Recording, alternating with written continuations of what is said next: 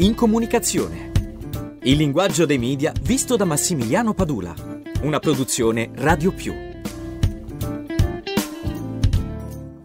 Un caro saluto agli amici di Radio Più. Ebbene, quando succede qualcosa di straordinario, la nostra prima tentazione è quella di condividere eh, questa straordinarietà con qualcun altro.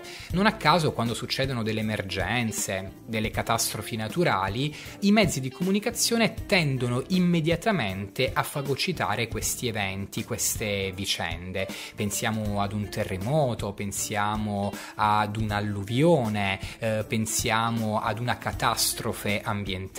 Sono cioè cioè dei temi che si prestano molto ad essere raccontati. Perché? Perché le informazioni cambiano continuamente, perché sentiamo prossimo quello che sta succedendo, ci sentiamo vicini alle eventuali vittime di queste emergenze. E quindi le emergenze sono sempre state raccontate, hanno sempre, come dire, occupato le prime pagine dei giornali o le prime notizie dei telegiornali, ma con i media digitali, il rapporto tra comunicazione ed emergenza cambia ancora una volta. Eh, pensiamo a dei terremoti o delle catastrofi naturali che avvengono in luoghi lontani, dove per esempio le comunicazioni mainstream, le comunicazioni tradizionali sono annullate e completamente distrutte. Ebbene, un social network ci può aiutare eh, attraverso un tweet, attraverso una fotografia postata, noi possiamo comunicare in tempo reale,